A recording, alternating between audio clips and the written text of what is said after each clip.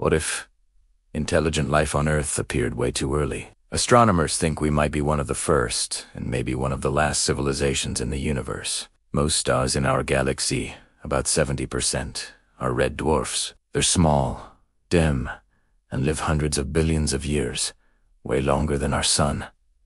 So you'd think they'd be perfect for life. Right? Wrong. Red dwarfs blast their planets with deadly radiation. Their flares strip away atmospheres, boiling oceans, and killing any chance for life. Simulations show that if a star has less than 30% of the sun's mass, its planets almost never stay habitable. That wipes out two-thirds of all possible stars for life in the universe.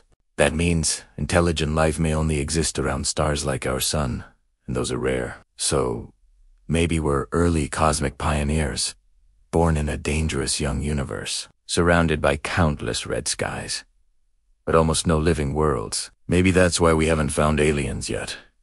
Not because they're hiding, but because the universe just isn't built for life.